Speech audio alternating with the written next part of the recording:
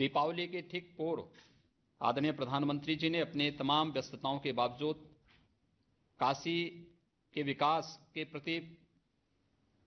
जो अपना मार्गदर्शन और प्रेरणा के लिए आज समय एक बार फिर से हमें प्रदान किया है, मैं इसके लिए आभार व्यक्त करते हुए आज के इस अवसर पर एक बार फिर से